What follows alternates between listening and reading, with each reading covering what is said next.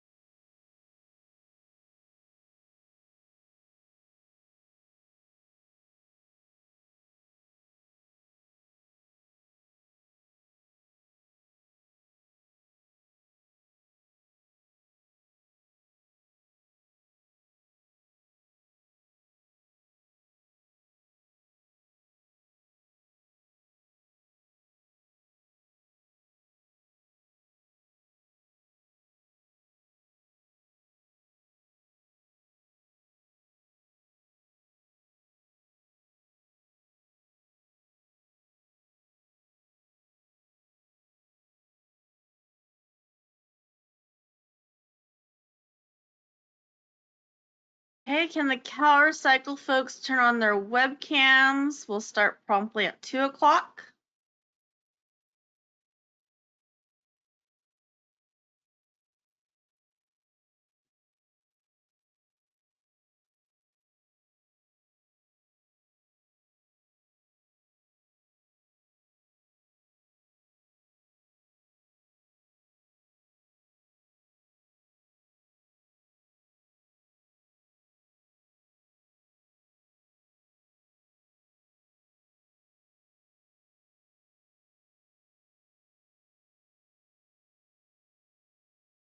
Okay, so it's now two o'clock. So as people trickle in, I'm just going to do some quick introductions before we get this started. Um, so welcome everyone to the SB 1383 Organics Waste Recycling Capacity Planning Tool webinar. That is a mouthful. Um, my name is Ashley Yee. I'm Cal Recycle's SB 1383 Implementation Manager. And before I turn it over to Jeffrey to go over the logistics of the webinar, and provide some background content for the tool, I wanted to introduce you to everyone who will be presenting and or available to respond to questions at the end. Um, so Cal Recycle folks, if you have on your webcam, please wave hi when I call your name. Um, so from Cal Recycle, we have Kara Morgan, Chris Brea, and Julia Doloff representing capacity planning, collections, and various other 1383 sections, as you've probably seen their faces before. A big thank you also to Julia for handling the logistics of the webinar. It takes tons of planning, working with our IT staff, um, and getting out everything uh, pre actually doing the webinar. We also have Jeffrey McDaniel, who's representing capacity planning and will be doing some of our presentation. We have Dan Brown, representing the waste characterization studies and RDRS. And we also have Esmeralda Alvarero and Ray Carranza helping with the live Q&A portion. So thank you to them uh, for stepping up and doing that. So now I'm going to turn it over to Jeff, who's going to go over the logistics as well as provide some background content for planning. So take it away, Jeff. Thank you, Ashley.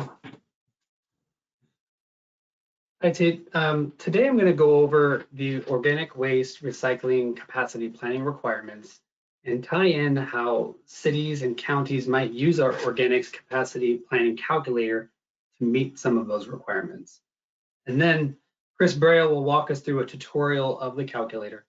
We will then follow up with Q&A. So feel free to submit questions into the comment box so that we can address them after the presentations. I'll start by describing how the Q&A sessions will work so you could submit your questions throughout the, my presentation and the tool overview. For those participating in the GoToWebinar platform, please type your questions into the question pane. If you're watching the webinar through the Cal EPA broadcast, please email your questions to the SLCP inbox. CalRecycle staff members Esmeralda and Ray will unmute participants in order that the questions come in so that you may ask your questions out loud. If you do not have a microphone, please note that when you submit your question so that we may ask the question for you. If those with a microphone, sorry, for those with a microphone, you'll need to unmute yourself on your end when asked by Esmeralda and Ray. Please remember to state your affiliation before asking your question. CalRecycle staff may respond to some questions in writing through the GoToWebinar platform. So for those listening via the webcast, we will verbalize these questions and written responses for all to hear. Questions and comments regarding the merit of the regulations were responded to during the rulemaking period. Therefore, today we will be focusing on questions and clarifications regarding implement, implementation and tools. So with that, I'll move into an overview of the organic waste recycling capacity planning requirements to get us started. Each jurisdiction, meaning each county, city, regional agency, and special district that provides solid waste collection services within the county must plan for adequate capacity for recycling organic waste. Each county will lead this effort by coordinating with the jurisdictions located within the county. It is important to note that when there is a CalRecycle approved regional agency, that regional agency functions as the main coordinating entity with the unincorporated county and cities. However, the JPA for the regional agency will need to revise, will need to be revised to incorporate 1383 responsibilities. Each county is responsible for establishing a collaborative approach to this planning, including setting a timeline, identifying tasks, and determining what each jurisdiction tasks are.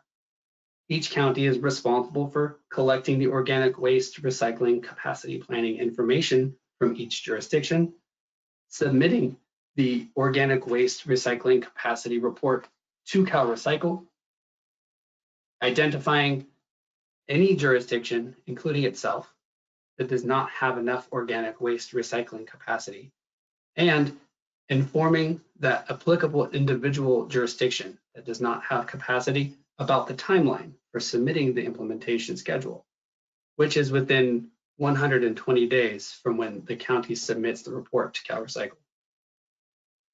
Counties are not responsible for ensuring and enforcing each of the cities located within the county conduct the organic waste recycling capacity planning that is required. This coordination might be done in different ways depending on what the needs are and what the availability for resources are.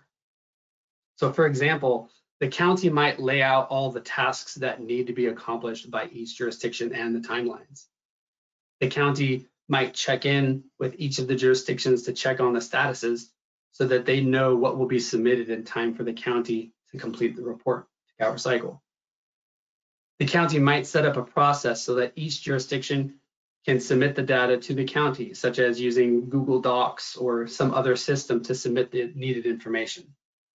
The county might identify some tasks that will be that will complete for each of the jurisdiction. For example, the county might take the lead on coordinating with some of the required entities, such as the county might reach out to the LEA or uh, for information about all proposed projects that the LEA is uh, aware of in the jurisdictions.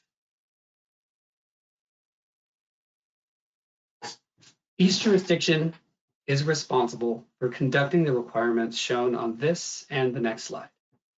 The purpose of this planning is for each jurisdiction to determine for each entity how much organic waste will be disposed and how much existing, planned, or new organic waste recycling capacity is needed for the organic waste material that is collected from the collection program. CalRecycle developed an extensive online calculator to assist you in this part of the process. As this information is collected, the online calculator tool can be utilized to record and calculate disposal and projected disposal by material type, as well as existing capacity by facility type, new or expanded capacity by facility type, and any shortfall in capacity. The capacity planning requirements do not require estimates to be exact or absent of any error or uncertainty. Rather, it requires that each estimate is conducted in compliance with the requirements of this section. The county is the coordinating entity for all the capacity planning tasks because the county is responsible for submitting a report on capacity planning to CalRecycle. However, each of these tasks is expected to be done by each individual jurisdiction. Capacity planning efforts will be crucial to the state achieving SB 1383's targets, and the capacity planning requirements were intended to be a cooperative and communicative effort throughout the entities in the county. Each jurisdiction must estimate the amount of all organic waste in tons that will be disposed by each of the jurisdictions within the county. Each jurisdiction must identify the amount in tons of existing organic waste recycling infrastructure capacity located in the county and outside of the county that is verifiably available to each of the jurisdictions located in the county. Each jurisdiction can demonstrate the capacity is verifiably available through a contract, franchise, or other documentation of existing, new, or expanded capacity at a facility, activity, operation, or property. that recovers organic waste that will be available to the county or its jurisdiction prior to the end of the reporting period. Each jurisdiction must estimate the amount of new or expanded organic waste recycling uh, facility capacity that will be needed to process the organic waste estimated to be disposed. This requirement provides jurisdictions with the ability to identify how much additional capacity they will need at new or existing facilities that are inside or outside of its boundaries, and assist in identifying capacity at facilities that may become oversubscribed if jurisdictions identify the same facilities. Because this effort requires regional coordination, each of the cities that are contracted by the county staff, or sorry, that are contacted by the county staff must respond to the request for information within 120 days. If this timeline is not met, the county does not need to include estimates for that jurisdiction that provides solid waste collection service in its report to CalRecycle. However, the county must include in its report any jurisdiction that did not provide the necessary information to comply with the requirements. This is needed because the county can be penalized financially for failing to estimate organic waste capacity, and this clarifies that the county is not liable if the cities located in the county fail to respond within the given timeframe.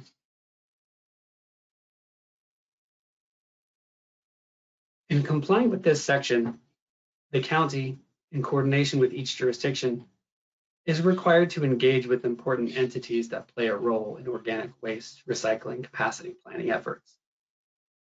Such engagement will provide more accuracy in determining the organic waste capacity needed to meet the reduction in organic waste disposal goals required by statute. Each jurisdiction should determine who will contact the following important entities, such as the local enforcement agency, the local task force, haulers, facility owners, and community composting operations. Jurisdictions that host facilities that generate digestate, such as in, in, in vessel digester and biosolids uh, generated at wastewater treatment plants, are required to have a plan for the recycling capacity for these materials.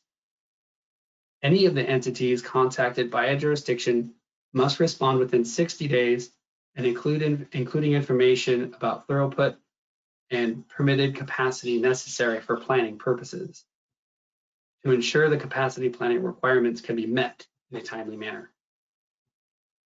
Consult with community composting operations is also required to provide an opportunity to consult with small-scale community composting operators that may be able to recycle organic waste outside of the conventional organic waste processing infrastructure.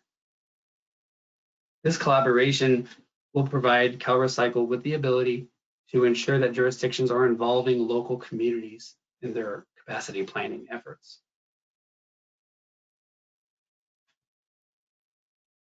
Each jurisdiction is required to conduct community outreach regarding locations being considered for new or expanded facilities, operations, or activities to seek feedback on the benefits and impacts that may be associated with new or expanded facilities, operations, or activities. The intention for the community outreach is that it would be conducted by the jurisdiction in which the expanded or new facility, operation, or activity is located. With that said, as with other consultations, the county and jurisdictions should decide how and by whom community outreach will be handled if there is a new or expanded facility, operation, or activity. However, nothing precludes cities from providing outreach on their own. This outreach requirement was included in the regulations to facilitate feedback from the community during the planning process. Community outreach must meet a certain specific uh, certain specifications to ensure thorough and authentic engagement on this requirement.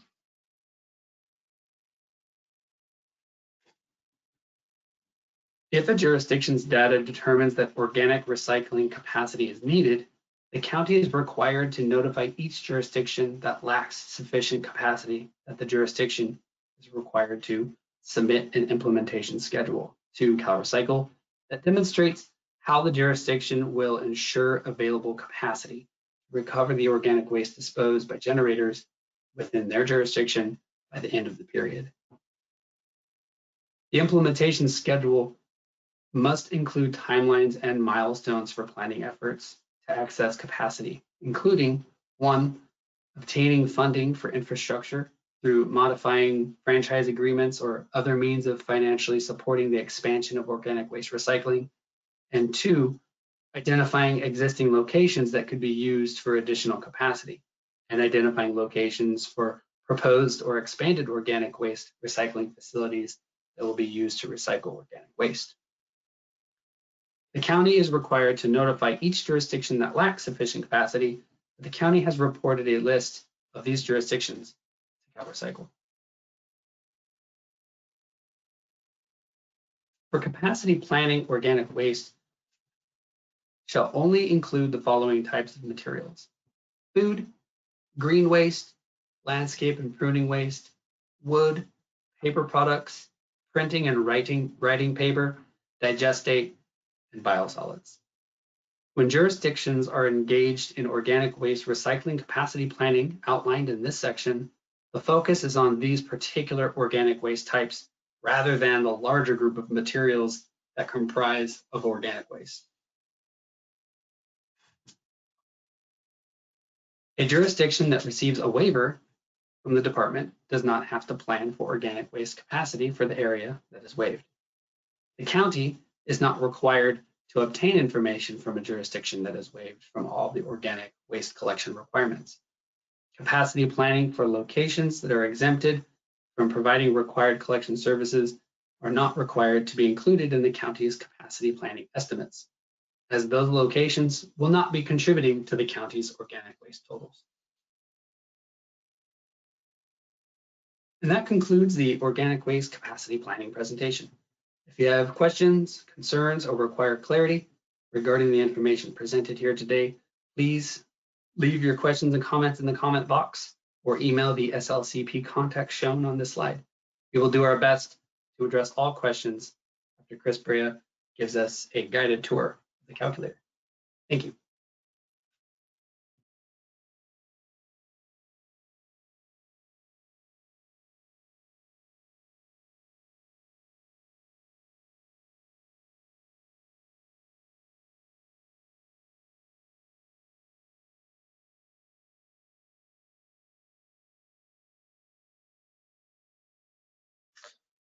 Hold on, sorry, I'm just trying to make sure I pick the right screen.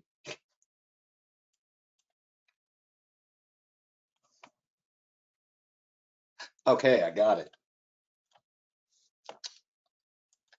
Hello, everyone. My name's Chris Brea. I work in local assistance and market development along with Jeff and Kara. Uh, you might remember me from edible food capacity planning uh, last Thursday. I've worked on both of these tools and you will see that they are quite different uh, given the different needs uh, of the different capacity planning uh, requirements. So first off, I'm going to show you how to navigate to the tool from the CalRecycle homepage. If you scroll down a little bit, under new SB 1383 resources, you can press learn more. And as of today, you know, it's not going to be the biggest news on the planet forever, but as of right now, you can jump straight to the capacity planning tools and guidance under the program news box on the main SLC, SLCP page. And from here, there's some other background information that you just heard from Jeff. It's all kind of spelled out on this page. Um, if you scroll all the way to the bottom in the resources section, the first link uh, listed is for the organic waste recycling capacity planning calculator.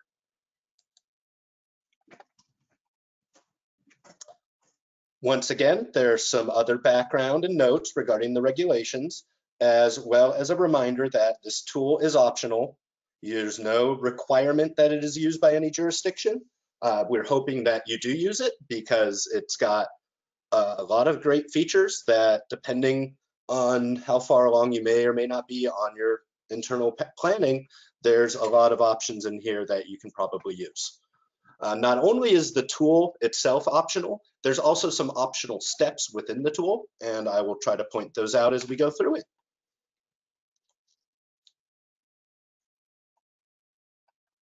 So first off, I do want to uh, remind everyone that there are various tooltips located throughout the calculator. Uh, anytime you see a question mark box next to a field, you can click on it and it will open up another box with more information in it. Secondly, any item in the calculator that has a red asterisk next to it is a required field that needs to be filled out. Uh, there's not a whole lot of them. They're mostly at the top in the initial sort of prep sections. But if you see that anywhere, please make sure that a piece of data is in there. Also, we'd like to note that information in this calculator cannot be saved uh, after you're through using it. There is a button where you can export all the data to Excel. Um, a lot of the information in this calculator is not necessarily required to be reported back to CalRecycle in any way. What we really tried to do was build a very versatile tool that can be used by jurisdictions between, you know, from little places like Half Moon Bay all the way to giant counties like Los Angeles or San Diego. So as we go through it, you there's certain parts where you might be like, oh, well, you know, that doesn't apply to us. Um, from from our end, we had to build something that would be versatile enough to be used by every jurisdiction in the state that might need to use it. Uh, last up, as a main disclaimer, as you'll see in this larger paragraph, uh, this page has an idle timer. So I literally just opened the page uh, as I navigated to it, and I had a timer that basically starts internally on the web page itself for 120 minutes. Um, as we work through it, you may be wondering why there's so much text in certain places or why things are maybe set up the way they are. We have uh, website accessibility standards that we needed to meet.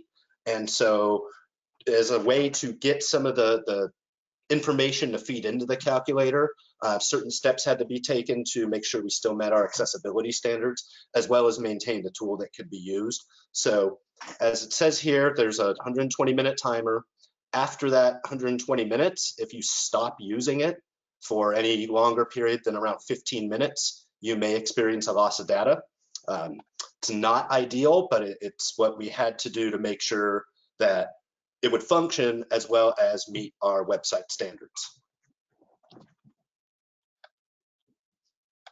So first up at the top, you would pick your disposal data year, um, and this is related to the year in which the associated reporting will take place. Um, and what this will do is right now it, it, defaults to 2021 because that the 2021 report coming next year, or when this is due next year, uh, 2021 will be the most up-to-date data that's available in the recycling and disposal reporting system. I'm going to not keep saying that. I will start referring to RDRS uh, as I work through this because it's a mouthful to say every time.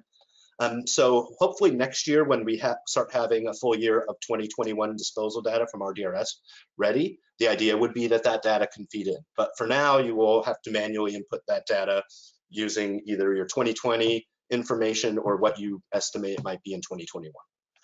Um, when you pick your disposal data year, you'll notice to the right, it will change the period covered to correspond with you know, that disposal data year will be the most recent when the, that the capacity planning report is due. So this will give you an indication of what years you're planning for.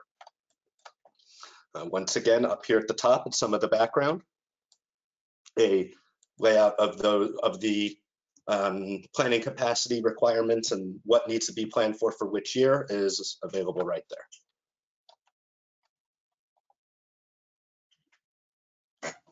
So as I proceed through the rest of this, uh, from this point on, I am just going to be entering, you know, demonstration data. None of this is real. I'm literally going to be making up numbers. I'm going to pick the very first jurisdiction on the list. Thank you, Adelanto, for being first alphabetically. Um, so as you go through this, just know none of this, the rest of this that I'm going to put in is real. It's all for demonstration purposes only. So the first step in a required field is to input a jurisdiction. If you don't input put a jurisdiction, you would need to enter another area. This is because we have some special districts that provide waste collection services that may need to do this type of planning. Or maybe you're not working on a city, maybe you want to do this for other reasons. I wouldn't know, but you'd have to put in at least a jurisdiction or something in the other area column. And next up, you would input your total population. Um, currently, you can, you know, you, there is a 2021 population data that was recently released by the Department of Finance. I believe it was a middle of May or so. So you can use that to put in your initial population. The projected population, uh, the Department of Finance does not provide that on an individual jurisdiction level. They only provide it at the county level. So you would use the best data you can find to estimate your population at the end of the planning period. And some suggestions might be uh, general plans, climate action plans, transportation studies, housing studies. Um, we, we don't have the information, we can't provide that. So we're, you know, for your planning purposes, we're hoping that you put in the best estimate you can get. So just going to try to keep all these numbers nice and round. And as you can see, I've already filled in some things. 10,000. And projected population, 11,000. And the reason this projected population matters is because what we're trying to gauge is the change in disposal at that future plan, end of the future planning period. So to, for demonstration purposes, to keep this simple, just want it to be a 10% change. Um, be quite a feat if you do have a 10% uh, population increase in the next few years. But as I mentioned, for demonstration purposes, I'm going to try to keep this nice and round. so at that point, you would then press the search button and it will open up future steps in the calculator. I realize maybe I can zoom in a little bit for people and that might help. Sorry, should have thought of that right at the beginning. So after you press the search button, just know if you press, if you go through and enter any other data, or you were to press the reset button, it will change the population data here, which would then have a cascading effect on the rest of the calculations. So just know if you already go through it and then you press reset, you know, you may lose a little bit of the data you'd already put in. Uh, you'll see an export to Excel button, which I mentioned earlier. You can't save any data in here, but you can export it. And the use defaults button, which I'm not gonna press quite yet, but I will be coming back to it in a minute because as I mentioned, we put in some uh, optional uh, things in here and there's a few different ways to use the calculator depending on uh, the level of detail you're going to be planning to. So this first field right here is where you would put in your disposal tons. And from there, it calculates a per, cap, uh, a per capita disposal rate in pounds per person per day. Uh, like I said, I'm going to try to keep this nice and round. So 10,000 people and 10,000 tons and makes a 5.5 per capita rate. And what you will see below that is where you may put in any additional organic ADC or AIC that you may be using at this point that is um, required in the planning requirements. And also another field if you are currently disposing of any biosolids or digestate uh, in the landfill. These two fields are distinctly separate because as when we get in further into the calculations, uh, these items were not included in any of the waste characterizations that CalRecycle has conducted. So to not have them in as separate um, tons that are input, it would actually skew everything beyond that. So there's a reason these are separate. And if you don't have any, you can put a zero. If you do have some, as I mentioned for, pre, for demonstration purposes, just gonna put in some very small numbers here to keep it simple. And those will come in handy again later.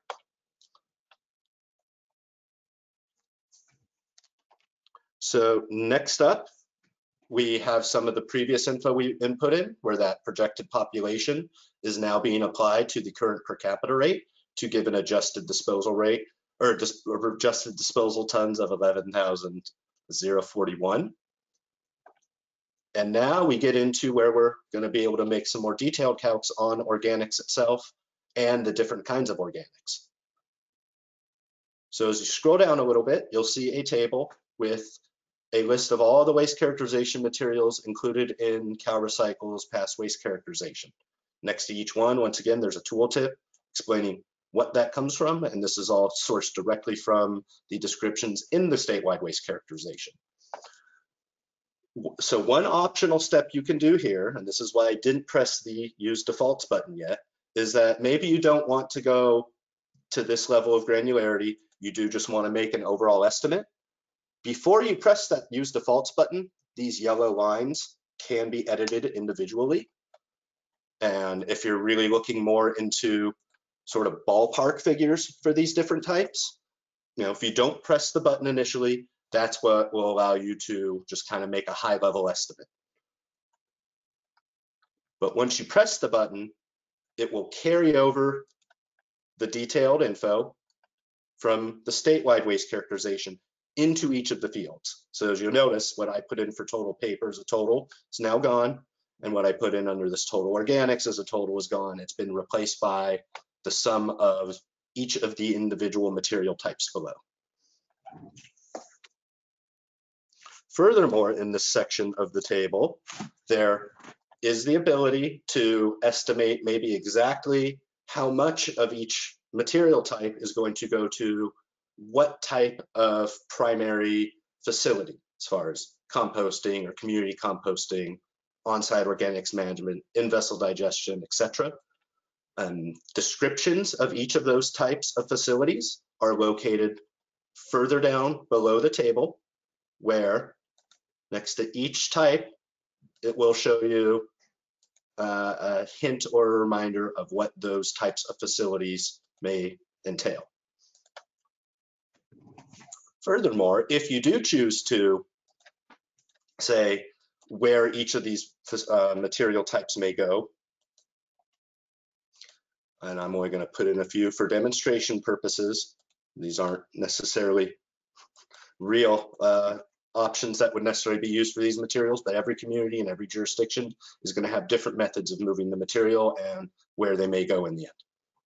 So now that I've input a handful of facilities, when I scroll down below, what you'll see is that depending on the type of facility that was picked, and if I were to pick you know, multiple facilities, what it will do down here is total the number of um, tons as noted in the table above. It'll give you a handy total down right down here next to each facility type. Furthermore, if you choose to do that level of detail, when we get into the next section where you can actually identify specific facilities where this material may be going, it will give you a handy little reminder of, oh, I've got 572 tons of composting to move. I should you know, keep that in mind as I'm looking at my facilities and what capacity they may be able to accept from us.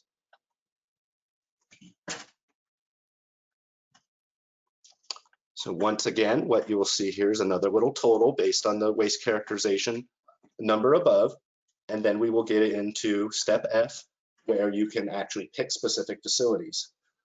There are a couple of optional items on here. Once again, you have the ability to directly pull a facility record from the RDRS system, or you can put in a record without having that data pull. Um, this is done by pressing add new record. And here in the county, this is another optional feature we, we built in. You're not limited to the county of the jurisdiction you select in step A. You can pick a facility and have it load data from any county. So I'm just going to pick that one because it was there as I said it. And then the next step would be you can pick the site name. I want to be clear that this is not specifically only pulling a composting facility in this composting section. It is a list of all facilities that report in the RDRS system. So while it might seem like, wow, you know, there's a metal recycler on here, that doesn't seem like a place that would handle compost. It's probably not, but you know, we had to try to build in as much versatility as we could, and also the way specific facilities may be coded in the system, uh, in the or in the RDRS system, doesn't necessarily allow it to differentiate between composting or uh, in-vessel digestion or chip and grind. Some of those options are not always there in RDRS. So you have the ability to choose this type of facility, or you could come in, press new record and type in whatever county you're gonna do including misspelling. And you can enter any information you want in this, in these fields, and you don't have to enter, none of this is required. And it allows you to either pick information fed directly from the CalRecycle system or enter whatever you may want down here, misspellings and all.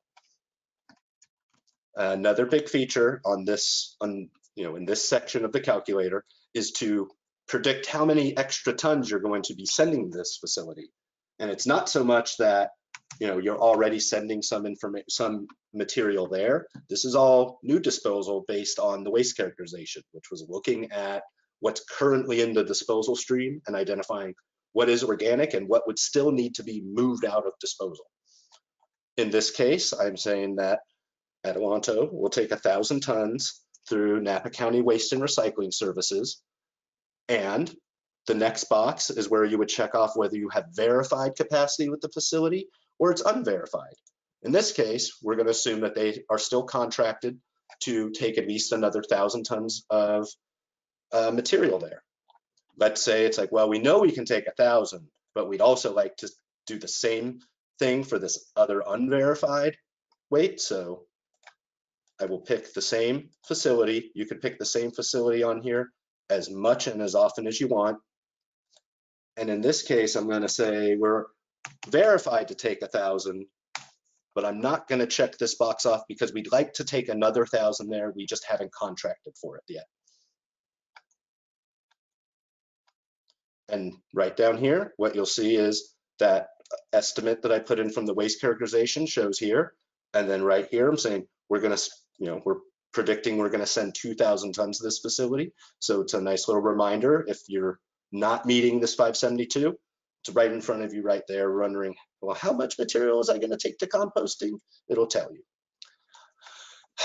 I'm not going to go through each and every other facility type on here because you don't want to listen to me talk all day. I'm sure you're all eager to ask a lot of questions. So I am going to just scroll down through this just to give you an idea of all the different options and different facility types that are available. Uh, not all of these facility types necessarily have reporting in RDRS. So um, in some cases, a, a rendering company that might accept certain types of meat. They're not necessarily going to be reporting in RDRS, so you'd most likely add that type as a new record, not in RDRS, as I demonstrate above, misspellings and all. So as we get through down to the bottom step, or to last to bottom step, we have an additional uh, spot where if you have newer expanded facilities, this functions very much the same. But once again, since these are new, uh, you're not necessarily going to you know, have something that's already reporting. If it is a facility that exists and can be expanded, um, the compromise we had to make to make this functional was just to make it a data entry only field. So, uh, North compost posting. I'm just making up some information. None of these fields are required. Um, and we're going to spend, you know, we think they're going to be able to take an additional thousand tons from us. Or if you're anticipating for a closure, you could say, oh, this place where we are taking some material already is actually going to close and we know we're going to lose some space. So that would be in a way to address that type of change in um, available capacity. And then down here on the very last step is where it will show uh, and you know whether you you know how much organics you will be taking in the future or how much you'll be generating in the future, how much verified capacity you entered, how much you may be short on that verified, and then how much additional capacity you've identified and a potential shortfall or excess base related to that. And once you have it complete, there's another just random note box if you need to jot something down. But once complete, you would go in, hit the export to Excel button. Ah. Just waiting for it to pop up at the bottom of the page. Unless I'm using the wrong browser. There it is.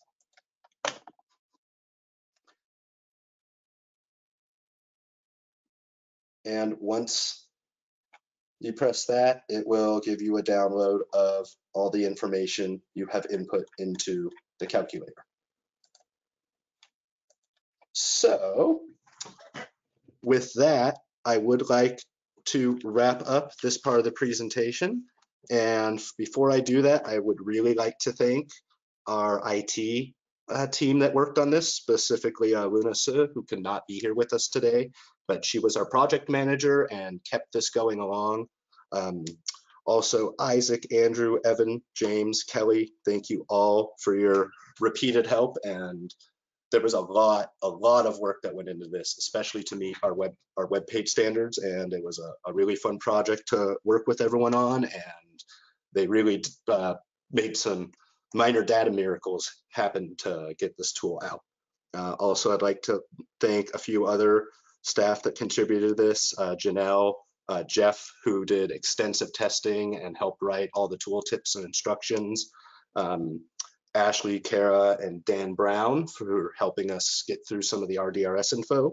Um, a handful of other staff helped in the legal department and our statewide technical analytical resources group. And we all, I'd also like to thank our outside reviewers, um, LA County Department of Public Works and Tyla and Stephanie from San Diego, and most specifically Tracy Swanborn from HF&H Consultants, who provided a lot of really good feedback. Some of it was so good that while we would like to incorporate some of it, you've already seen how complicated and long it is now to add some of the other bells and whistles that you know we would have loved to have put in. It would make it even more complicated. So just as a reminder, this is for planning something in the future and you're really kind of ballparking it. Um, it's not meant to be exact down to the microton. You are really just trying to plan and estimate if you're going to have enough space based on the reporting periods covered. So with that, I will wrap up my part of it and turn it back over for questions. Thank you so much, Chris. This is Julia here. I'm just going to bring up um, a couple last slides, and then we will um, head right into the Q&A session. So I'm going to hand it over really quickly to the manager of our policy office, Dan Brown, for a quick informational item. Thank you, Julia. Um, so I just wanted to uh, chat about the uh, commercial generator-based edible food waste characterization study. It's uh, again uh, quite the mouthful. Um, I wanted to let you know that the study is currently underway. Uh, this study is going to help track progress towards established targets set, set forth by SB 1383 to achieve reductions in the level of the statewide disposal of organic waste with the special requirements for edible food waste reduction. Uh, our contractor Tetra Tech is beginning to recruit businesses and organizations in selected industry groups to participate in the study. Uh, and what those organizations have to do is fill out a survey on their food waste management practices and allow a field team to take a uh, 200 pound sample from both the trash and organics bin, as well as a peek inside the recycling bin to visually assess if there's any food waste or organic waste. Uh, the team will be sorting the samples into 11 material categories, of which uh, eight are food categories and three non-food categories. Participating sites will receive a composition report of what their uh, trash and organic samples looks like, uh, theirs specifically. Uh, some of the industry groups we expect to be more difficult um, to recruit are listed in the slide. So that's the uh, recommendations desired for K through 12 schools, assisted living facilities, hospitals, performing arts, spectator sports and related industries, large venues and large events, and finally correctional facilities. Um, so you know we if you uh, have any recommendations on any of those groups or any other groups that you're aware of that that we're sampling from that may be interested in participating and getting composition report for their organics and their trash bin please let us know. Uh, and you can email us at wastechar at calrecycle.ca.gov that's w-a-s-t-e-c-h-a-r at calrecycle.ca.gov uh, with suggestions or any questions and that's it for me. Thank you very much. All right, thank you so much, Dan. So this is Julia again. Um, just a quick reminder to please use the instructions shown on this slide if you'd like to ask a question during this question and answer session. If you're participating via the GoToWebinar platform, just type your question into the question pane. If you're watching the webinar via the broadcast, just email your question to the SLCP inbox. If you did receive a response in writing already to one of your questions in the GoToWebinar platform, I'm just going to remind you that we are still going to ask you to read off that question and we will repeat that answer out loud out loud over the webinar so that participants that are watching not in this platform can also hear that response. So with that, I will hand it over to Esmeralda to get us started. Thank you, Julia. Um, the first questions that we have are from Colleen Foster. Um, if you could go ahead and ask your question that was already answered um, in writing for those listening to the broadcast, and then go ahead and ask your other questions. Um, you are now unmuted on our end. Please unmute yourself and ask your questions.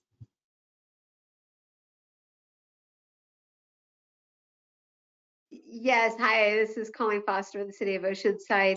Um, I know you answered a couple of my questions. One of the questions that I didn't see an answer to is can you clarify the system times, you stated in your presentation the system times out every 120 minutes, but then the instructions say that you may lose information and may want to save every 15 minutes?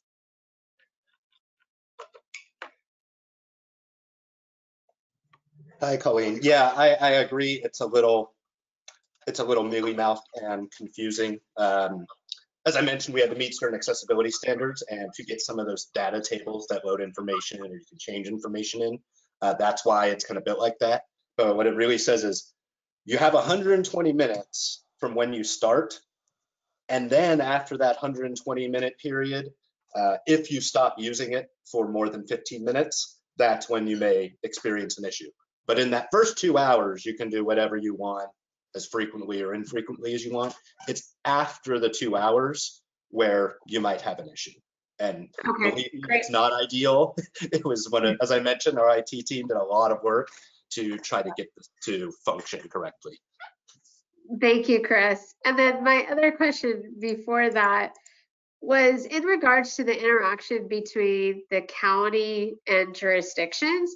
So CalRecycle requires jurisdictions to report on capacity, but then also CalRecycle, you know, seeks to have counties to help organize that. But at the end of the day, jurisdictions are the responsible party.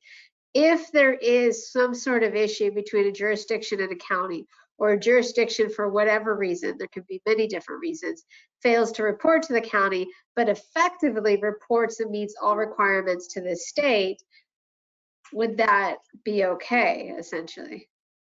The state's requirements are much clearer, but without some sort of documented guidelines and deadlines, you know, or strategy for counties across the state, it could be different across, you know, the board and hard to expect kind of what counties are going to expect from jurisdictions. Yeah, thanks, Colleen, for that question. Yeah, I expect in the scenario that you presented, um, basically the county would be reporting that the particular jurisdiction um, did not provide the necessary data. CalRecycle then would be interacting with that jurisdiction. Um, you know, I would expect that our our first and primary objective would be to find out what happened. Where was there a breakdown? Was there an issue?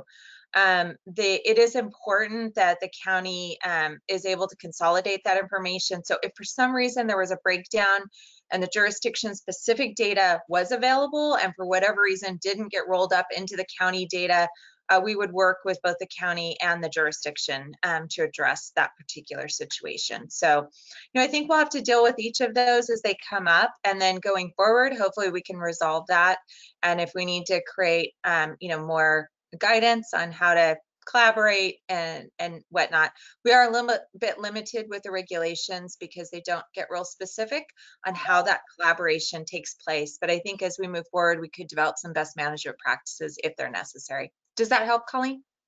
That helps tremendously, Kara. And maybe it is a little bit of a recommendation if the state could develop some sort of best management practices or suggested timeline for counties, that would be fantastic. So today I know all the deadlines that CalRecycle is seeking, but what makes me nervous is that I don't know necessarily the timelines that our individual county may seek information. And it'd be great if we had consistency across the board. Yeah. Um, yeah, something for us to, we'll, we'll kind of assess, um, this first one, you know, maybe a little bumpy, but as we go forward, we can assess what the needs are and, um, if, if more is needed with any kind of best management practices, we can work on that. Thanks so much. Our next questions come from Mike Selling.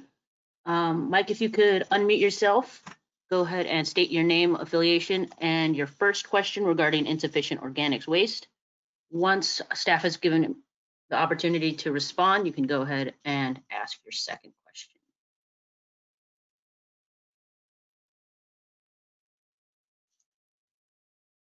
You're unmuted on our end. Go ahead and unmute yourself.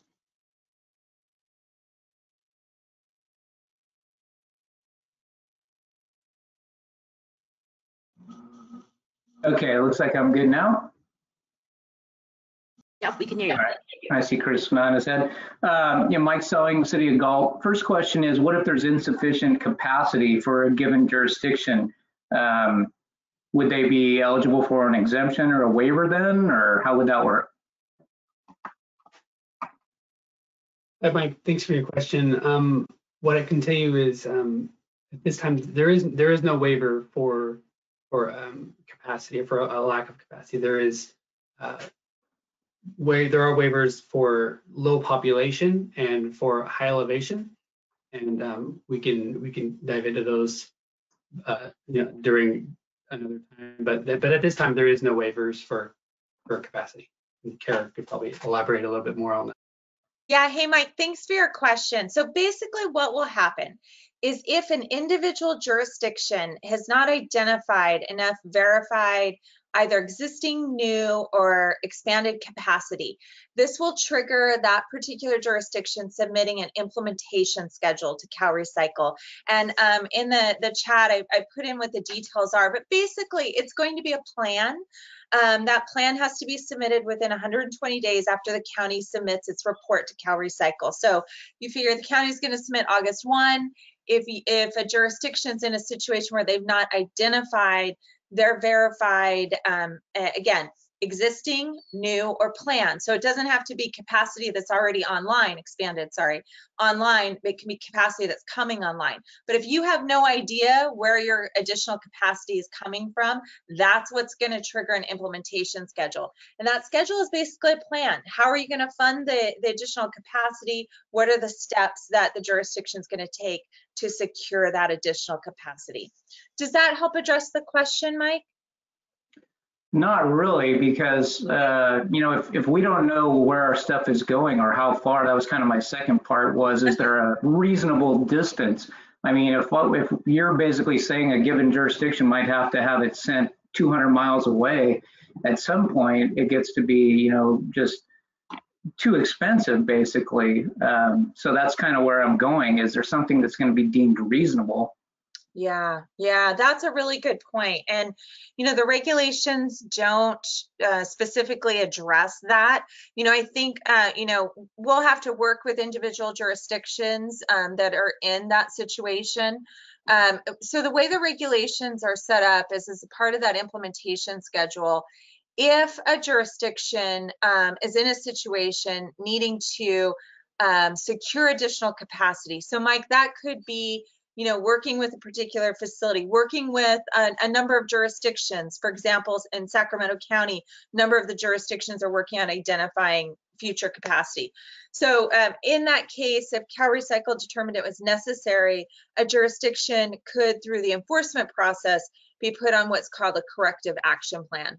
And that can be up to a total of three years of time um, eh, to work on that capacity. But again, you know, it's a little bit hard, Mike, speaking in just kind of general scenarios, but there are jurisdictions who right now are sending their organics um, quite a distance, some, some are, some are not having to do that. So there's quite a, a variation around the state hopefully as as more facilities come online as more capacity also comes online as jurisdictions work with industry to develop that capacity and hopefully if more funding comes uh, to help with that we'll see more facilities. So um, does that help mike? I mean it, it obviously it doesn't uh, address the, the, I- the I- uh, distances. Yeah, no, thanks, Kara. Uh, But I, I think, you know, what I'm really kind of, I guess, getting at is we all understand there aren't enough facilities permitted or even in process, you know, to handle the amount of waste that we're talking about here, the amount of organics. And so Mhm. that's what I'm looking at is, is basic, the basic question is, is CalRecycle going to recognize that and, you know, and, and take that into consideration, I guess, you know, for jurisdictions as we try to navigate this totally new deal. So, Yeah, yeah, yeah. I mean, all all important and good points, and certainly we are going to recognize that. But we're going to be looking to jurisdictions. You know, we have jurisdictions, for example, that are going out with requests for proposals. Um, some jurisdictions have worked with, uh, you know, industry to submit a grant, you know, to to build a facility. So, you know, it, it's it. There's going to be a variety of approaches. Some jurisdictions are uh, you know, uh, putting on their haulers, right, to identify that capacity. So there's a, quite a variety around the state. Certainly, CalRecycle is is working um, on this issue, and as and if we get um, any additional funding, uh, particularly for organics capacity development, that's going to be important to building infrastructure. So, you know, I think um, there's there's certainly not a particular answer. There is, um, based upon um, the Water Board's analysis of uh, wastewater treatment uh, facility capacity, there is uh, capacity available with wastewater treatment plants. So we are, uh, I think, expecting to see more of those types of facilities expand their capacity. Um, so I, I think we're going to see a lot happening in this area, Mike, over the next, you know, couple of years. yeah, no, I agree. I think it's going to take at least a couple of years. But uh, appreciate that. I think it's, yeah, there's a long way to go on this and hopefully the state's going to be helping a lot because they're the ones who put these, you know, legislation in place. So, Yeah, absolutely. And I, I really encourage you to, to follow, you know, the budget conversations uh, because both the governor's budget and um, the um the legislature is proposing funding both for jurisdictions as well as for infrastructure capacity. So really encourage jurisdictions to follow that conversation and reach out to your legislators because this is the time to be uh, reaching out to them about the needs that you have in, in this arena. Thanks, Mike. great. Thanks, Kara. Thank you. The next couple of questions are coming from Kelly Shoemaker. Um, you are now unmuted on our end. If you could please state your affiliation, um, well, unmute yourself, state your affiliation, and ask your questions. Okay, hi, can you all hear me? Okay, can. great. So I had a question about the, one is sort of a nuts and bolts question, and um, I'm wondering if when we get final 2021 um, population numbers, if they'll be pre-populated into the calculator, kind of similar to the AB 876 calculator, just to take, you know, you know, just be a little faster, that's all. Uh, We would hope so. Um, Obviously, we don't have 2021 disposal yet, and the final 2021 population won't be there till next year. But that is uh, part of the idea and how it was constructed. And, and one major difference between the 876 calculator and reporting and this one is that 876 required each year in the annual report plan out for another 15 whereas this one is not is much different. It's not actually going to be annual reporting. And when you're doing the reporting we're going to try to provide the best available data for it. So we're hoping it can load in at least disposal and population but as i mentioned we're never going to have our own you know verifiable projected population so that most likely will always be on the user to input on their own Okay, all right, thanks for clarifying that. Um, and so, well, one question I didn't sneak in there, but it does sound like we'll be doing both AB 876 and 1383 organic capacity reporting, or is this superseding that? Um, well, in the annual Oh, report that is due this year, you will still be doing 876 capacity planning because this is not, this 1383 stuff is next year. Um, Kara, you can, you can clarify that a little bit more. Yeah, Kelly, our plan is that starting with next year's annual report, um, with the counties reporting August 1, 2022, it will be utilizing this new calculator tool.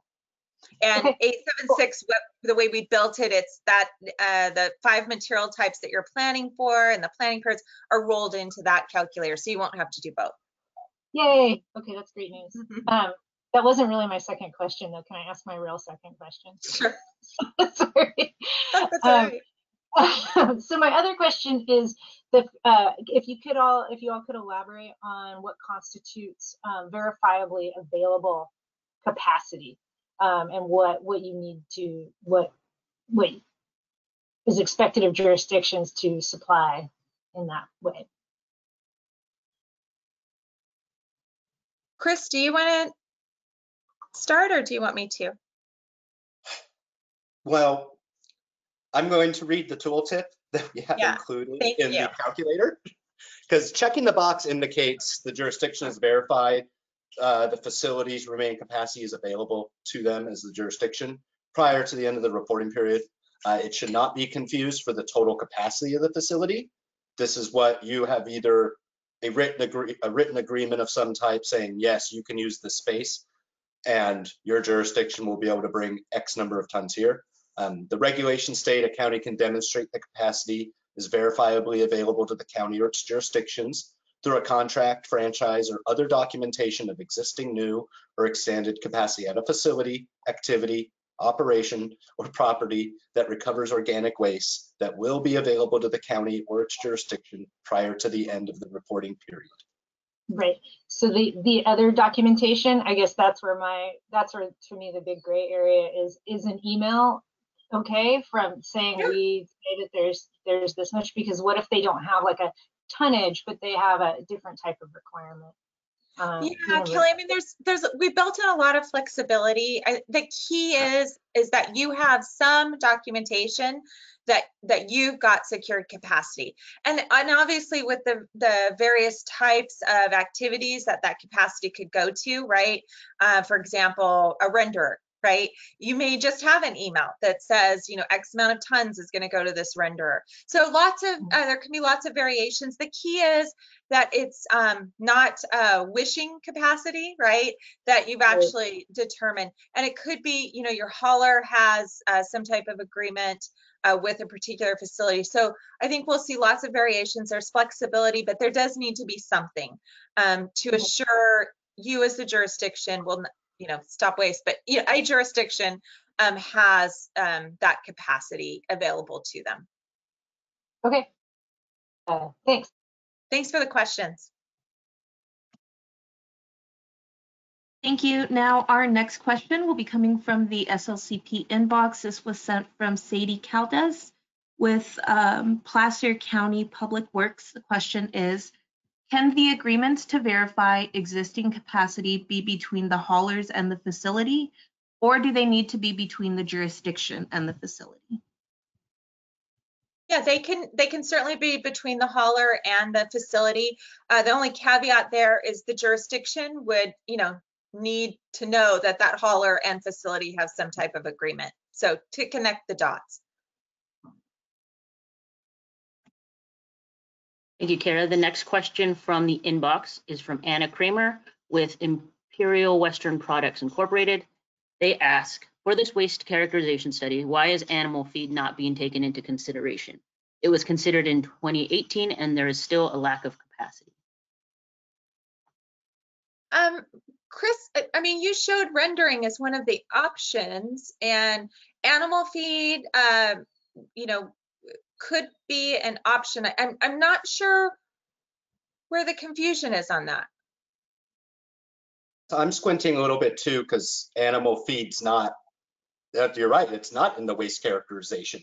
We're not characterizing animal feed. If, are you, if you're asking whether it's an option as a facility type, yes, animal feed is most definitely on the list. As I mentioned, I would put in a handful of facilities there, but there, there's, there's at least 12 or 13 different types of facilities and options that you could pick in the calculator, and animal feed is one of them.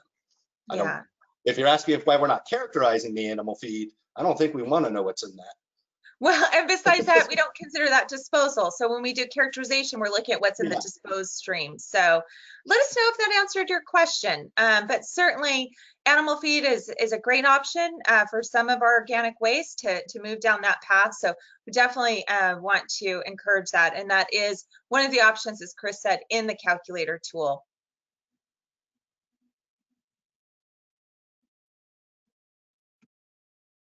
Thank you. The next question we have is from Anika Anderson. Um, I believe you are now unmuted. If you can go ahead and ask your questions. Hi, can you hear me?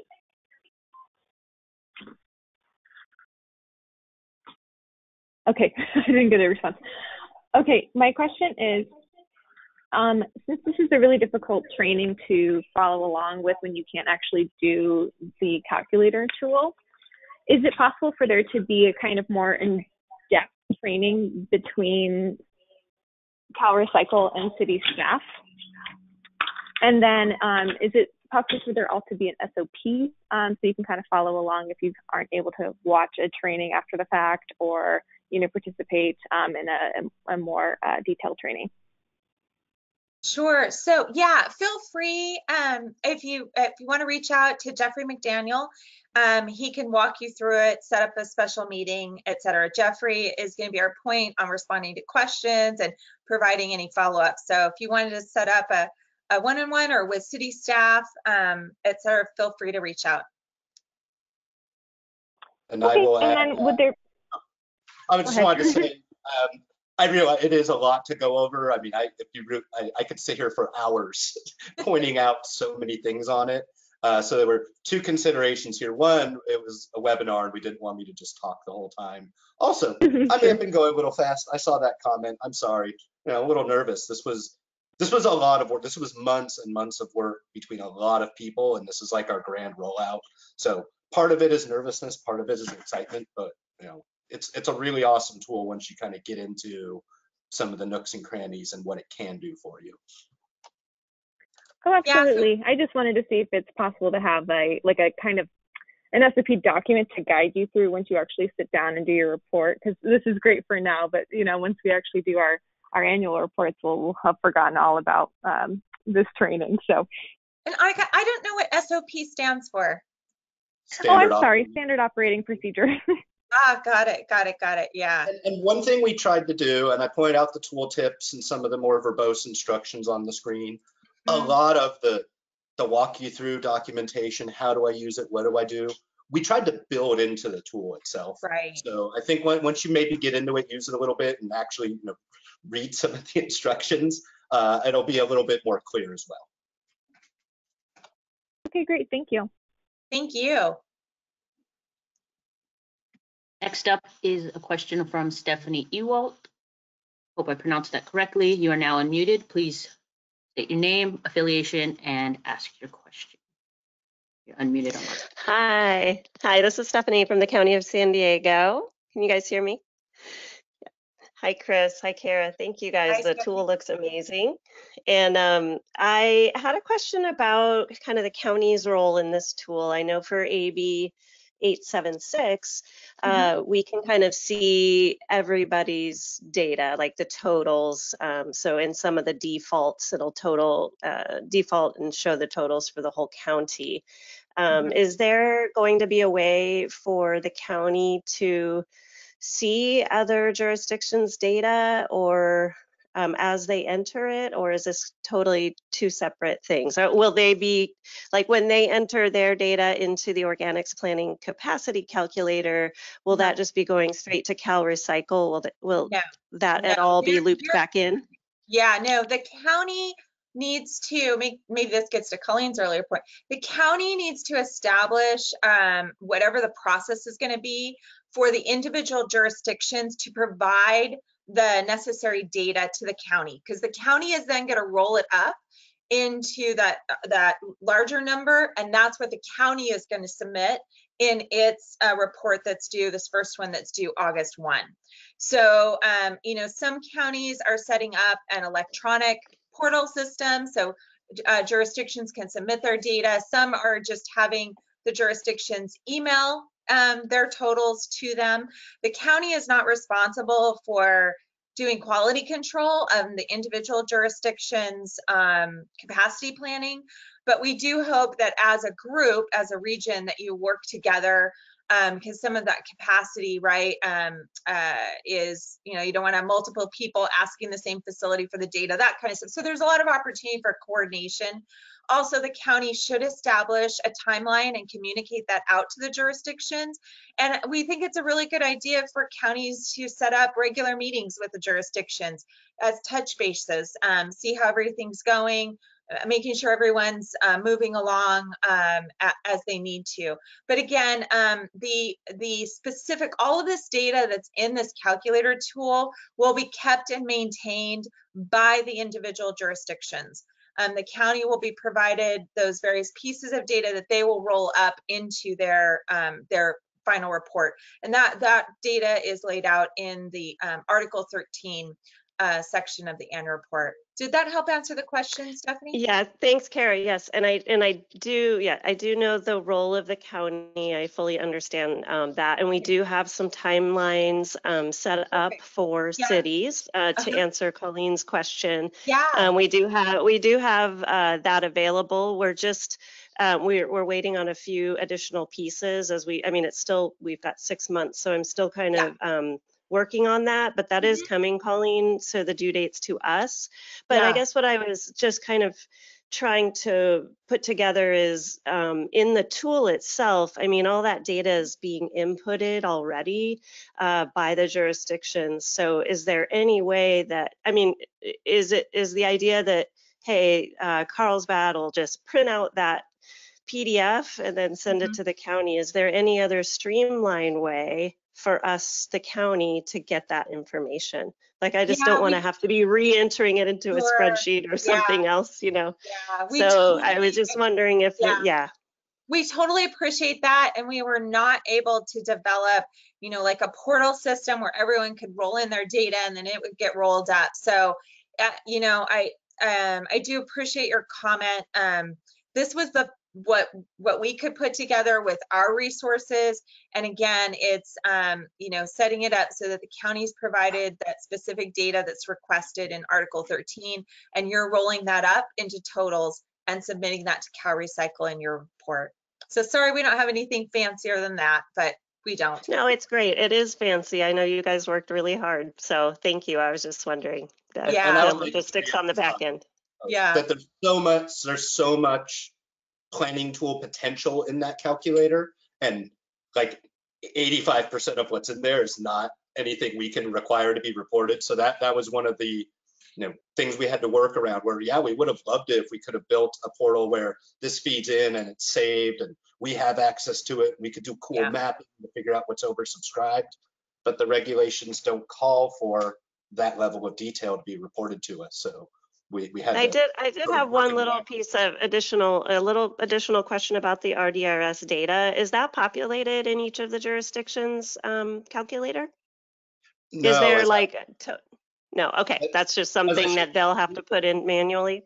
Yeah, because it's not like if you uh are if you're a jurisdiction in Alameda County, it's not going to limit you to only the facilities in Alameda County because things move around. You know, depend maybe you're closer to a border and things might go to Solano. So it's not it's not limiting in that sense. You get to pick the county of the facility location and it will load some preliminary data for you, but we didn't want to isolate it to say, well, these cities in this county, that's all they have access to, because that's not how it works in, in reality. Like things go across borders all the time, and we didn't want it to necessarily be too limiting in that sense. But at the same time, once you pick your, you know, you can pick any county you want, and it also will show all the facilities in that county. So when you're picking an actual facility or site, you know, make sure you're, you're getting the right one because some, some, there's multiple um, reporting entities from the same company. And you will see that it's like, why is this one listed three times? It's because they have three different reporting elements that feed into RDRS. Okay, thank you, guys. Thank you. The next question we have is coming from James Dunbar. You are now unmuted. Please unmute yourself, state your affiliation, and ask your question.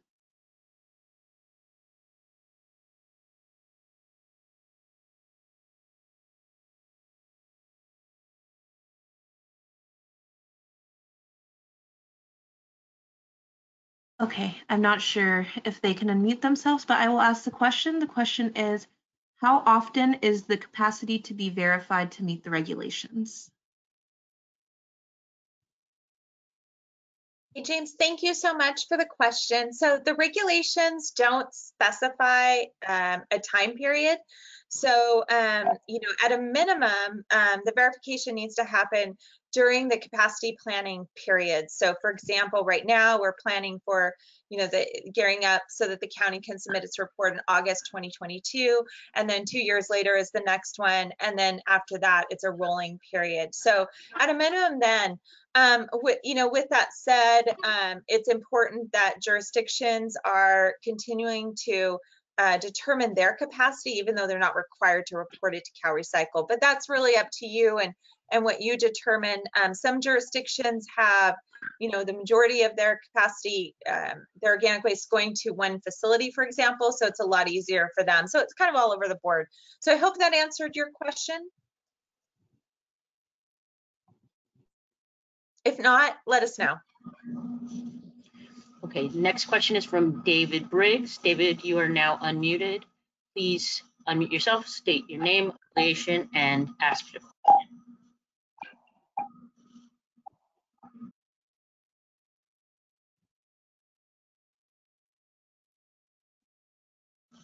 Okay, um, I'll go ahead and ask the question on David's behalf. The question is, what is the current estimated date when jurisdictions will be able to apply for population waivers?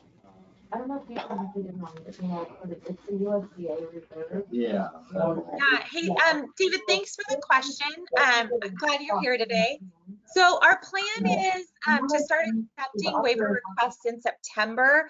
The last thing we're waiting for right now is the US Census tract data. As soon as that data has been released, um, you, you saw Dan Brown earlier, Dan's team is going to be um, posting all of the census tracts that meet the low population threshold, as well as the individual uh, jurisdiction cities, for example, all of the jurisdictions that meet the rural exemption, and all of the elevation, um, either census tract waived areas or jurisdiction waived areas. So we plan to put that up. We're currently in process of developing the waiver web page, uh, should be up later this month. We also um, are close to finishing the forms uh, that jurisdictions can submit. So you'll see what, what needs to be submitted with the form in September.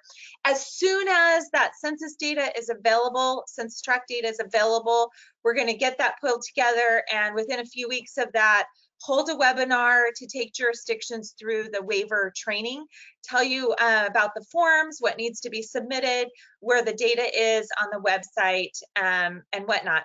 Um, we will be, uh, we do have a process where we'll be posting on our website those uh, jurisdictions that have approved waivers. Um, and again, um, uh, anytime after September, jurisdictions can start submitting. But I think one thing I want to point out and call out with respect to the waivers is if you meet uh, one of those thresholds for the waiver, um, CalRecycle um, doesn't have discretion not to approve it. So, you know, it, it's a little, you know, if there's, uh, if you have your, say, if you're a city and you have your low population data, uh, right now, you may already know whether you're eligible or not. And certainly as soon as that census tract data is available, you'll know uh, which census tracts are available as well. So just keep that in mind that you don't necessarily while there is a formal process where you'll have to submit to CalRecycle, you'll know as soon as you have the data whether or not you're eligible and will be uh, approved for the waiver. So I hope that's helpful, Dave. If it's not, let us know. Next question is from Neil Shapiro. You are unmuted on our end. Please unmute yourself, state your affiliation, and ask your question. Hi, how's everyone doing? Uh, Neil Shapiro, City Santa Monica. Just to follow up on Mike's question, and Cara, thank you for responding to him. Maybe just Yeah. to make it clear, obviously, if there's not enough capacity, and certainly in Southern California, it seems like There isn't presently, although I just emailed our vendor to ask him. Um, Mhm. But given it could take three to five years to build more capacity, because that just, you know, environmental concerns and reports, is, will Cal Recycle allow in our implementation timeline to give us that much time? Yeah, um, Neil, that's a great question. Um, you know, I can tell you what the regulations um, provide for, which is if CalRecycle determined that enforcement action was necessary, the regulations allow for up to three years when there's an infrastructure need. So again, keep in mind that that that timeline would be when and if CalRecycle took an enforcement action, that timeline applies. CalRecycle does have discretion as to when it takes enforcement and starts that that uh, specified clock. So, um, uh, you know, Cal Recycle again is going to work with jurisdictions. We're really looking for what you are doing um, to secure that capacity. You know, jurisdictions that are um, you know, going out with requests for approvals, um, or RFP proposals, excuse me, um, or working with their hauler, um, you know, just uh, being really in process of identifying where that capacity is going to come from. Um, I think, you know, we're looking for jurisdictions to be making that that substantial effort. Um, that could include, uh, you know, funding, whether that's applying for a grant or uh, you know, starting to get the funding through um, uh, your rate setting, et cetera. So I hope that's helpful, Neil. Did that help answer kind of the question? Um, yeah, but again, as I said, it could take three to five years. So I guess the point is if we show we're following all the points you made, we're looking for funding, we're talking to our our Mhm. facility and showing good faith, but it still sounds like there's a maximum of three years um, at some at some deadline. And let's say you still need more time after that and you've shown good faith. Yeah, yeah. And again, just going back to um, as the regulations are written, that corrective action plan is for a specified time. So where CalRecycle's discretion comes into play is when we would trigger an enforcement action. So, um, you know, it would be a determination by CalRecycle if we were to um, trigger that enforcement action. So I, you know, I can't um, go beyond what's in the regulations, Neil, as far as kind of clarifying that. But again, it's when our discretion is to, if we determined that an enforcement action was necessary, then Right. that timeline comes into play. And all of that beforehand is, you know, the Cal Recycle conducting a compliance evaluation, that takes time, et cetera. So, you know, again, Cal Recycle wants to work with jurisdictions, and as you mentioned, you know, jurisdictions that are moving down the path to complying, doing what's needed, um, identifying, you know, where they're going to get that capacity, although it may take time. Cal Recycle does have um, enforcement discretion. Oh, okay, so I get maybe I was confused. So the three-year enforcement, that could happen after two or three years where we're showing you we're working to get the capacity. Let's say. So it could be, it could be, that could be five years. If we work two or three years to get the capacity and it's going to be built, but it's taking a little longer. So it sounds like there is some flexibility and enough time to make it happen within a reasonable amount of time, basically. So, Yeah, again, uh, you know, I just have to be a little bit careful here because um, Right. I need to kind of, you know, stay within rights. But, you know, I think the point is when Cal Recycle did conduct that compliance evaluation, I don't know how much time that will be to when Cal Recycle would, would do that, say of your city, for example. And then, you know, when it, when Cal Recycle determines that an enforcement action would be, then that clock starts. So Right, I hope that okay. helps. Um, Yeah. I'm, I am hedging around a little bit just to no, I within the understand. Okay, language. got it. Thank you much. Appreciate it. Thank you. Thanks for all you're doing in Santa Monica. Now we'll take it to Trishena Robinson with Los Angeles County Public Works. You are now unmuted on our end. Please restate your name and the question.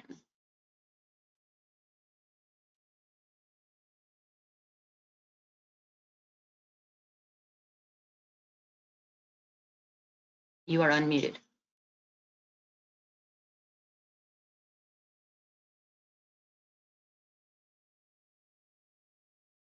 I see the icon is on for your mic, but I'll go ahead and ask it and you can feel free to jump in.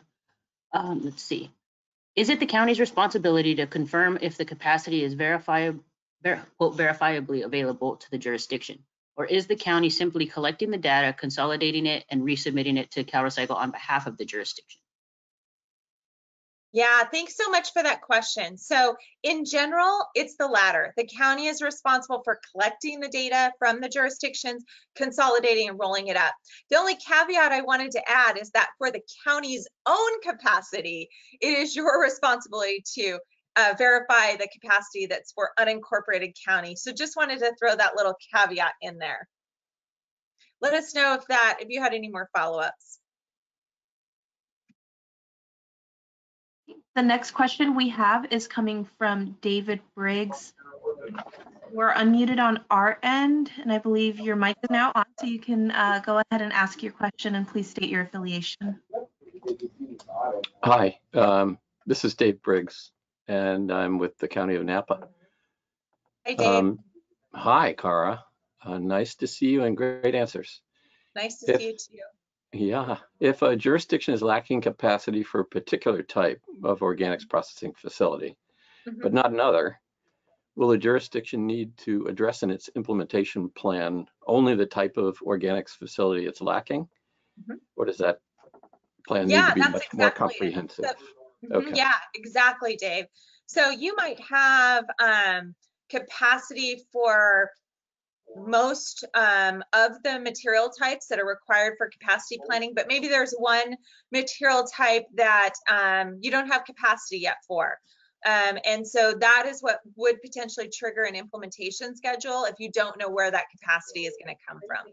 So um, I think in your example, maybe uh, wood chips or um, uh, Yeah, yeah, lack capacity for wood chips. Yeah. So that would be an example where um, if that's all of the jurisdictions in the county um, don't have a place to send the, the wood chips or the material that's processed from composting those overs, for example, then that could trigger all of the jurisdictions having to submit an implementation schedule and, and you know, potentially working as a, a you know, in a countywide group um, to, to really come up with a solution for, for wood chips.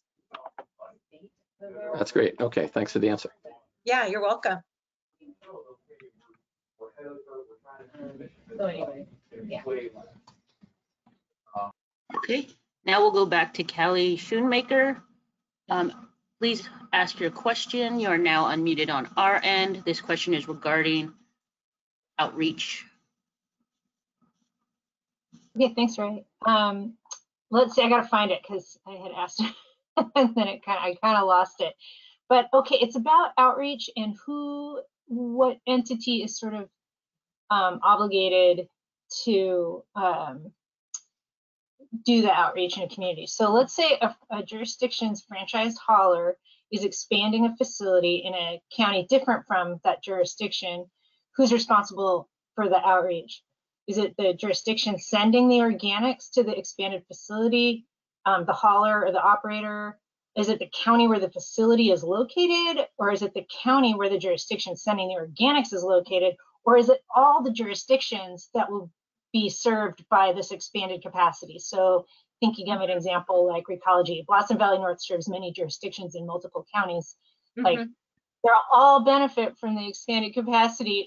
So I was just wondering how how do you do that outreach for that? Yeah, so um, it, it is the, the host jurisdiction that needs to conduct that community outreach. And the intention is because that's where the most of the impact is going to be is where that facility is located. So it would be that that host jurisdiction that would need to conduct the specified community outreach that's laid out in the regulations in Article 11. Even if yeah, and if that's going to be interesting if they're not sending organics there, I guess. But Yeah, yeah, because you could have, yeah, you could have a host jurisdiction that's not even using that facility for sure. yeah, okay. Thank you for Yeah. clarifying. Yeah, sure, Kelly. And you know, certainly if we have that kind of situation, you know, definitely we would want that jurisdiction to reach out to Cal Recycle, um, see how we can assist. Um, but uh, you know, appreciate that that they could have a, a facility in their jurisdiction that they're not actually using.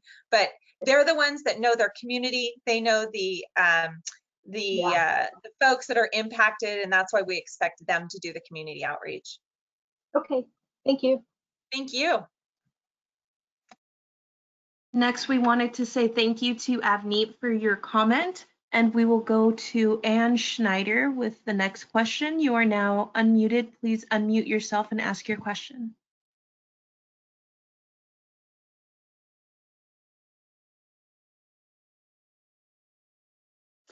Hate mute buttons. Good afternoon. Thank you for this. I'm an elected official who sort of works in the recycling field. Great to see both calculators, but getting it down to small jurisdictions can be difficult. Also, I'm working on a project trying to bring in the chamber. Have you guys thought about how to bring the commu business community into this so that they understand what local government has to do? Yeah, Anne, thank you so much. Um, appreciate your leadership on the statewide commission as well. Um, Thank you. yeah, we we have engaged um, and continue to engage with the statewide associations. Um, Ashley, if you're on, you want to uh, speak to this a little bit more, but We've been working with a number of um, the business associations. We've actually even been making some presentations um, to some chambers, for example. So again, um, if, and if there's any that you feel that we need to reach out to, please feel free to send that to the SLCP inbox. Ashley, do you want to add anything on our collaboration with various business groups? Yeah, I was just gonna say what you said, Kara, is and if you have any recommendations, we're always happy to get them. Um, we're always trying to get 1383 out there. So for the people who are asking us to do presentations, we're always happy to do them. Um, even if it's just for like a small little community. So if you have any other suggestions, let us know. We're really, um, for the past few years, we were targeting the bigger um, associations and chambers and whatnot. But if there are some smaller ones who really don't even know what 1383 is, we're happy to chat with them. So, Anne, feel free to reach out um, to the SLCP inbox, or you can reach out directly to me if you'd like. Excellent. I, I will tell you that small chambers with COVID have had a heck of a time. Our chamber has been active for a city of 23,000, but we're predominantly restaurants and food places. So this is perfect for us, but many chambers have not survived. Uh, but I will do my best and would love to have you come on down. We'll probably try to gather some of the other chambers so that you can meet with all of us. But lovely. Perfect. Thanks, Anne. Now going back to Colleen Foster. Colleen, if you could unmute yourself, remind everyone your affiliation, and ask your question regarding capacity planning and double counting. You're now. Hi, Colleen Foster, Environmental Officer, City of Oceanside. Um, I, I, I got to go back to a comment you made, Kara, and, and thank you so much for bearing through all our questions here. It's greatly appreciated. But you mentioned wish capacity and you mentioned CalRecycle not wanting us to do wish capacity, having some sort of guarantee. But the reality is, is, you know, I mean, the regulation we acknowledge it still requires over another 100 facilities and 1 billion in infrastructure. So there are going to be jurisdictions essentially today that don't know where their materials are going to go. So is there like a box in the tool that says, you know, I don't know? Or do we really have to try to like I don't know, guess capacity, kind of wish capacity, state, yeah. okay, there are seven facilities in our region yeah. that can take these materials, but I have no guarantee or commitments to either of those. So I have yeah. to list the seven facilities. Yeah, the way Chris built the calculator tool, and I'll let him speak to it, is exactly that. So it allows you to identify that capacity that's existing planned or expanded, right? And the planned uh, or new and expanded, excuse me, the new and expanded capacity may not be online yet, but but that's that's secured. Like you know, your you may have your your hauler, they may own the facility, they're building it or expanding, et cetera. That's capacity that you verified that you have available. The calculator then has a section um, for the capacity that you don't have yet uh, you know, we call it unverified capacity, um, but it's the capacity that you, you don't know where it's going to come from yet. The calculator tool also has a section where it identifies capacity that you haven't verified, but you have an idea. Like this is capacity that we're going to explore. And so while it's not verified, that allows you in your calculator tool to list that capacity. It's kind of like your to-do list of going after and trying to see if you can secure that. So Chris, do you want to add to that? And then also just Chris, if you can also add to how to avoid double counting, because there could be a facility in the area, even in my own jurisdiction, that can say can accept up to, you know, 300 tons, but they could be doing that for, you know, a multitude of jurisdictions or customers throughout the county. So I don't know if those are my 300 tons or not. So Kara kind of gave a, a really good kind of overview of how to account for what's verified and what's not. And I guess I will share my screen again really quick because I still have it up. Uh, what do I need to do? Share. I guess I can't because I'm not a presenter. Um, anyway, it, when when I was going through those individual facility pickers where you can pick a, a facility that's in RDRS, one that's not in RDRS, you had that toggle checkbox to say verifiable or in the verifiable column true and verifiable false. The true is what you know you have available to you through contract or, or other written means, email, you know, however that you're going to verify that. The if you if you don't check the box, you can still enter a facility and enter tons, and that's more the the the, the wish space. Like, look, we're already taking some stuff here, but we're going to need to take more, but we haven't verified it yet. So you can you can kind of account for the stuff that's verified and then start picking off facilities that that are not verified and you don't check that box. And one of the at the end, one of the major calculations is based on the amount of organics that's estimated to be generated and your verified capacity, here's how much space you have to get. Then the next line below that will show here's kind of your wish capacity, the unverified information that you put in. And then after that, the very final number is essentially here's the tons that you have no plan for whatsoever. Like not you didn't not not verified, not unverified. You're going to generate 5,000 tons and you've only put in 2,500. That final number will also be you're short 2,500. So ideally, you want that very final number on the calculator to be zero. Uh, to address your second question about double counting, uh, there's not really anything we can do. Uh, this is a tool that was built to be used by jurisdictions. And I've been asked early on, you know, what keeps a jurisdiction from just putting in whatever they want and lying in it? It's like absolutely nothing. It's, it's a tool. It's versatile. You can use it for whatever you want. Now, perhaps if the county, when they're looking at this, at what they're given from the jurisdiction, it's like, hey, you know, we got seven cities here and six of them all said they're going to spend an additional 30,000 tons to facility X. That'd probably be something the county could address, you know, with the jurisdictions like, hey, you guys all pick the same spot and your tons are going to add up to more than that place can handle. You might need to, um, you know, reconsider your planning a little bit. And, and there's nothing that we can do on our end regarding that calculator tool to prevent that. It, it's open, it's not saved, and you know, if if a jurisdiction chose to, they could send us their Excel export to detail it, but there's no requirement for that. And you know, one way a county could do it is say we'd like each of you to use this tool to do these estimates because it'll be simpler for us to be able to look at it and get it all in the same format. But on, on our level, we're not going to necessarily be told this exact facility, this exact amount of tons from this jurisdiction. That's not uh, in the reporting requirements. Okay, thank you for that clarification. I mean, I feel for my peer, Stephanie at the county, because, you know, is she going to have to try to reconcile these jurisdictions? And it's not a matter of a jurisdiction line, it's a matter of the fact that, you know, much of this infrastructure is not committed yet, and there are, you know, hundreds of cities not ready. So we're we're all in that realm of unknowns and wish capacity planning. And then also the haulers. It's it's really what are they telling us and what is reality? Um, you know, without contracts. So I think that's the complication. And then lastly, if, if when we submit these reports and then this information and cities are found to not have capacity, so that number is not zero, like you mentioned, Chris.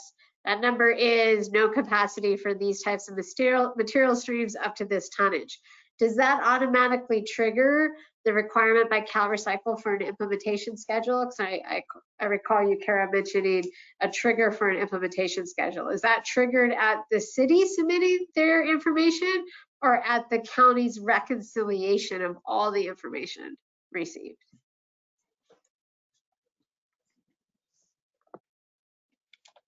So Colleen, it's a, it's a little bit of both per se. Um, the both part, I mean, is that when a jurisdiction does its calculations and, and knows that it has that gap, uh, it- you know, it has capacity that it, it doesn't have a place for material to go, right? It knows that. Um, it- that's a known factor. However, the, the timeline for the jurisdiction to submit an implementation schedule does not start until uh, until when the county submits its report to CalRecycle. The county will inform each jurisdiction that has to submit an implementation schedule. Okay, your 120 day clock has has started, and and then it's it's on that jurisdiction to submit the schedule um, to CalRecycle. I don't know yet if we'll have um, any guidance or templates for the implementation schedule. It's a little too early. We haven't uh, begun even really talking about that piece. But I do think, you know, again, in this, uh, like everything, in this first capacity planning period, in this first year of implementation or first two years of implementation, right? You know, all of the jurisdictions are working hard, scrambling is a good word, um, you know, just working hard to have programs in place. And so, you know, CalRecycle is really looking to um, you know, our jurisdictions moving down that path to complying with the requirements, um, you know, focusing on those priority areas, making that effort. And um, and again, you know, we would be looking at the implementation schedule as the jurisdiction identifying that they have a gap and that they need um, to plan for that and and work through that that additional capacity need. Does that help answer the question, Colleen? Yes, thank you. Yeah, you bet. Thank you. Good questions. The next question we have got cut off um, in the question pane, but it is coming from David Eisen. You are now unmuted. If you can go ahead and unmute yourself and then ask your question.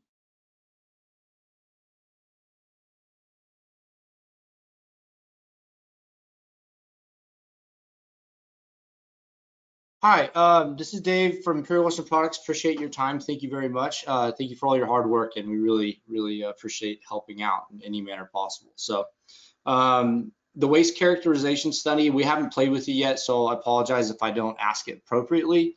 Um, is the animal feed not being taken into consideration? And uh, I, I think you've already answered. Sorry, I think we're all good there. Sorry. Yep, you're right. Awesome. Hey, Dave, now thanks for, for raising it. And I'm glad you raised it because, you know, animal feed is going to be an important option uh, for moving organic waste um, too. So I'm glad you called it out. Um, it is part of the calculator tool and hopefully a part of jurisdictions planning to the degree that it's an option for them. So thanks so much. Yeah, there and there is, you know, there there's various types of materials listed. You can choose, and and this is another one of those things where we would have loved to have been able to isolate. Well, this percentage of that percentage is going to go here, and this other stuff's going to go there. It's like I said, it's a planning tool. We're trying to ballpark the calculations. So animal feed can be chosen, if especially in, in smaller jurisdictions that might not have access to certain facilities. Right. You know, you're not going to use the RDRS record stuff. You're going to use the non-RDRS records, and that way they can plan for a certain amount of on-site, a certain amount of community composting, a certain amount going to animal feed. Uh, we Yeah. tried to, to build a tool that would allow that, but you know, it's it's not perfect. That you know, I wish it was. There's a lot of No. other stuff we would have liked to have done, but it would have gotten very Yeah. unwieldy and not very user friendly if we had tried. Right, high level, right? And I appreciate your time and um, and we do appreciate all your hard work and we're very excited to assist. And yeah, no, thank you for your time. All right. Thank you for your question. Now we're going to go back to Trishan- Trishana Robinson, who had some follow-up questions. Trishana, please unmute yourself. You're unmuted on our end. State your affiliation and ask your follow-up.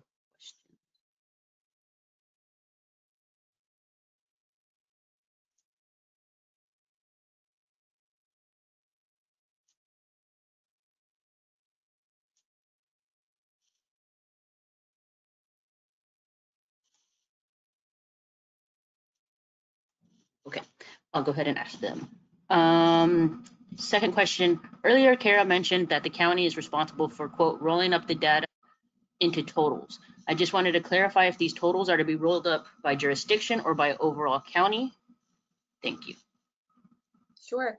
Hey, great question. Um, and we will be sharing as soon as it's ready mock-ups of um, the the reporting that will um, be included in the electronic annual report. Um, but in the regulations, what the county reports on, um, so each jurisdiction is going to provide the county the tons estimated for organic waste. We can talk edibles food separate, but for organic waste, the tons estimated that will be disposed, the amount of capacity that's verifiably available, um, to that jurisdiction. That's your existing, new, or expanded capacity that you verified. And then the, the, the delta, that amount of capacity that you don't know where it's coming from, um, and th that total. Um, also, um, you will inform the county of any locations that you have identified that will be new or expanded facilities. And if, um, uh, so that's, that's the data. The county will also report on the jurisdictions that reported that they have um, a capacity that hasn't been verified. Um, those jurisdictions will be reported by the county. And um, also, if uh, the county had a situation where a jurisdiction did not provide the required information within the 120 days, they would report that information as well. So again, it's really, really going to be important for the counties to be communicating with all of the jurisdictions in the county about the timeline, about how to submit information to the county, and what information should be submitted to the county. Important for um, the county and the jurisdictions to meet on somewhat of a, a, a regular basis, and you know, not maybe too often, but um, you know, at least at the beginning, and maybe uh, you know once or twice during. Um, so that everyone is on the same page. We've also in our trainings have talked about the importance of dividing up particular tasks that are necessary.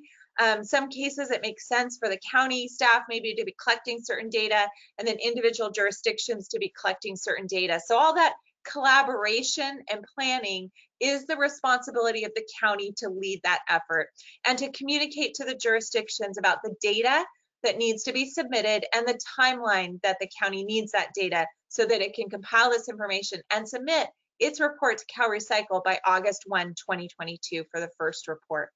So I hope that answered your question. Please let us know if there's any follow-ups. Next question is from David Briggs. You are now unmuted. Please uh, ask your question. Uh, yes, thanks for allowing me to add another. Um, and I'm with I'm with Napa County, by the way. Um, when will the 2020 RDS data be available for jurisdictions to use the calculator tool? 2020 is already out there. I believe it was released uh, about a month ago.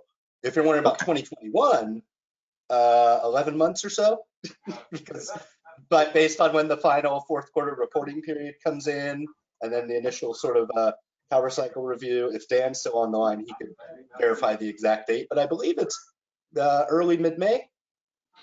Uh, yeah, yeah. Actually, uh, year-end data is released out of RDRS at the end of April, and it's available if you uh, go to CalRecycle's main website, search RDRS on that page. There should be a link to RDRS public reports, and you'll be able to see all the jurisdiction data there.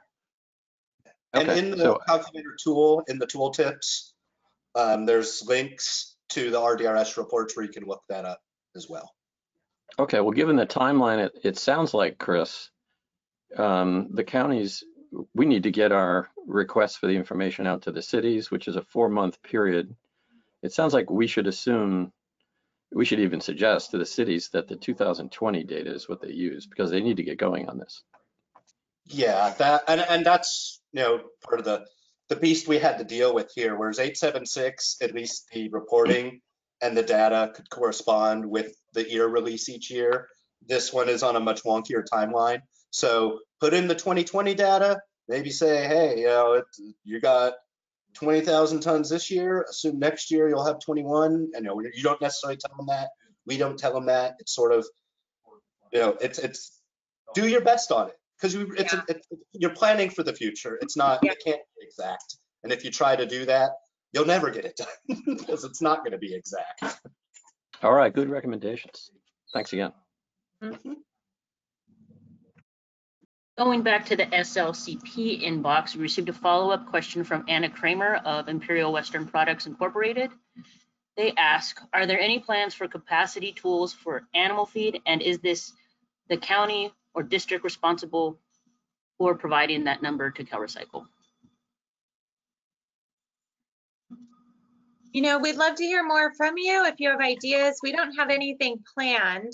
Um, again, um, jurisdictions would, you know, uh, really look at what their local options are um, for capacity, and if animal feed is one of them, um, you know, they would include that in their data. So um, let us know, please, uh, you know, if you want to do a follow-up, we'd be happy to do that offline.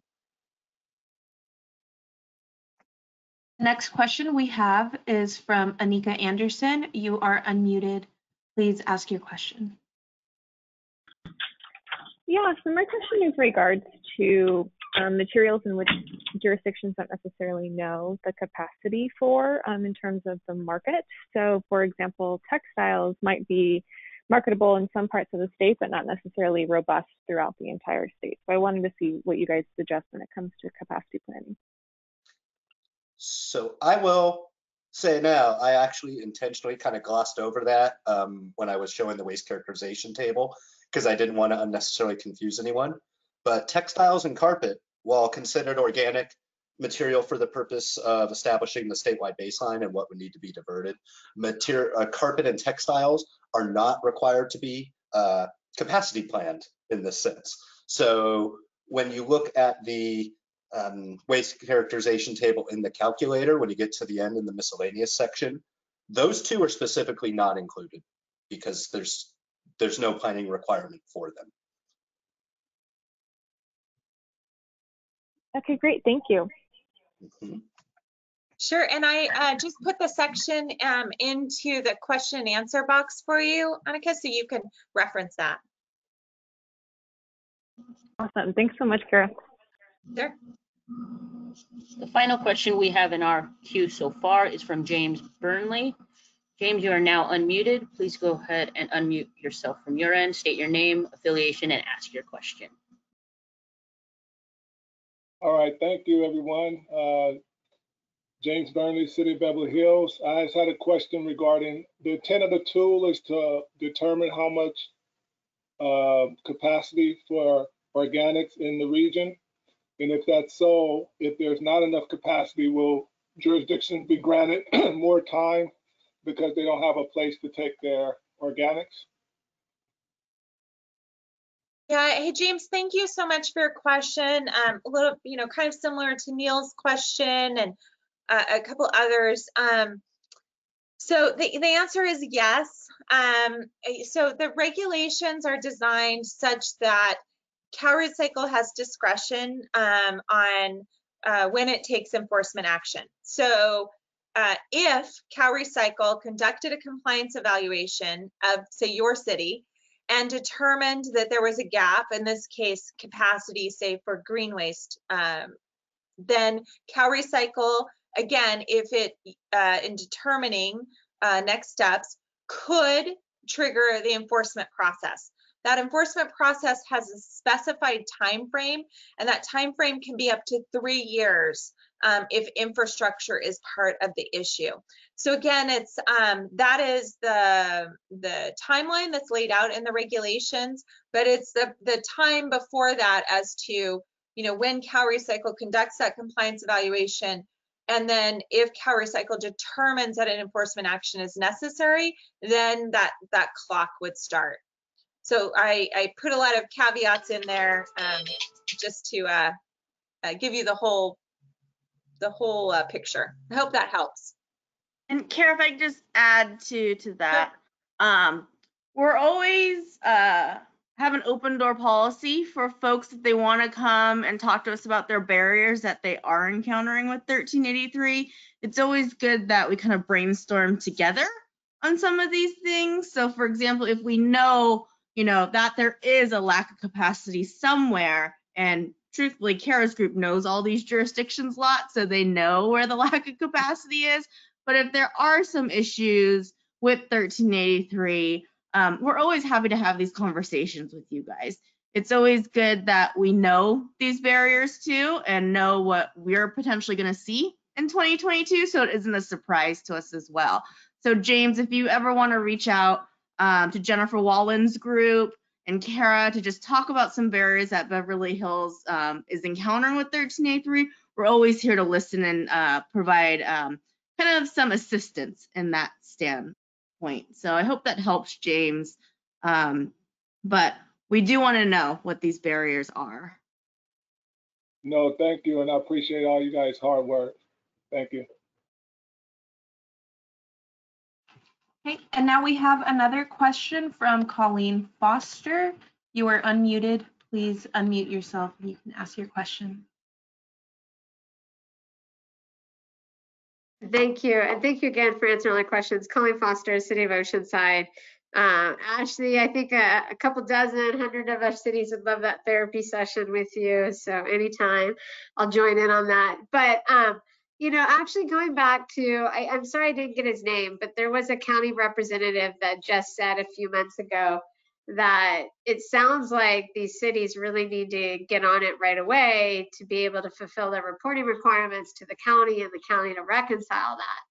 But then a few minutes prior to that, you know, a county, another county agency said, well, we're still working on it. We hope to have it ready for our cities, but at least we have six months before we have to do that. So I, I think that goes back to my comment earlier, really creating a set timeline and best management practices for counties across the state. So there is equitability for these jurisdictions as we have a, a race to compliance very soon. So more of a comment, not sure if it's a question, but Yeah, no, I, I appreciate, yeah, thank you, portrayal of Colleen. different. Yeah, Yeah. no, I, I appreciate that. And that's why we're doing this statewide webinar. That's why the land staff are reading, reaching out to their jurisdictions because ultimately, um, you know, doing the capacity planning is the jurisdiction, individual jurisdiction's responsibility. Um, the county does have this reporting requirement and collaboration piece, et cetera, but ultimately each jurisdiction needs to be planning for their programs and for the capacity that they're going to need. So we're doing our best to get these tools rolled out. We'll be doing some follow-ups with LAM staff after this for jurisdictions that may need some additional support and help um, and understanding the calculator tool, et cetera. So, you know, it is a shared responsibility and um, it's really critical and vitally important. Um, and that that each individual jurisdiction is beginning their capacity planning on the timeline that um, you know they feel is necessary. You know, some jurisdictions are maybe working on some other aspects of their program implementation, and we'll be tackling capacity planning coming up. Some have already started their capacity planning efforts, so you know we have quite a variety across the state. Um, the key is is that the, the counties will need to submit this data by August 1, 2022. So jurisdictions will need to get that data to the county so that they can submit their report by August 1, 2022. So, you know, there is time, um, but there are a lot of priorities on all of your plates um, to accomplish a lot. So I encourage each of you to be, also be thinking about your own timelines for uh, utilizing the calculator um, to um, conduct your estimates um, um, based upon what your particular circumstances are. And as I mentioned, if there's any follow-up, any of you have a need to go over the, the calculator tool or have specific questions, please uh, reach out. You can reach out directly to Jeffrey McDaniel or through the SLCP inbox and, and Jeffrey will be available to answer any of your questions related to the, the calculator tool and how to use it. So I hope that's helpful. Thanks so much for your comment. I really appreciate it. I will like to add an emphasis that Jeffrey helped write a lot of the instructions and the tips. Uh, I helped do the design. We've been really, really busting it uh, time-wise since I think November, December to get this out as early as we possibly could. And, and Jeff knows about 99% as much as I do on this calculator at this point. So he will be really good at that. And you know, you can always check with your your land rep, and you know, if we need to set something up, we can.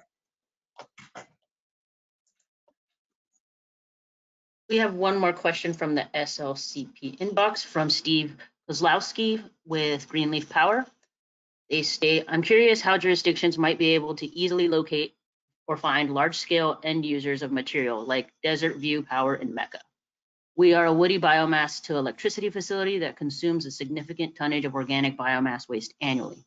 In the tool, RDRS displays us as, quote, Greenleaf Power Waste uh, Power Desert View composter. Is there a way for jurisdictions to gain clarity as to what regional entities may be available for their specific capacity options and planning? Thank you so much, um, not only for that advertisement, for that great comment. Yeah, uh, you know, we we used to have um, a, a tool called FacIT. We no longer have that. So you know, uh, our our best approach right now is is word of mouth using our local assistance liaisons.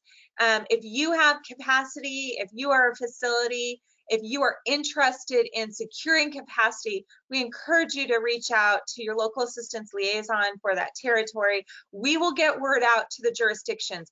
We have set up a lot of uh, one-on-one or regional meetings between facilities and jurisdictions um, to, you know, make that warm introduction. So we definitely um, continue to play that role, uh, including, um, you know, recycling manufacturers like yourself that you fall in that category um, that either um, have capacity, are expanding, maybe building a new facility. So definitely reach out to CalRecycle. We'd love to get word out to local jurisdictions.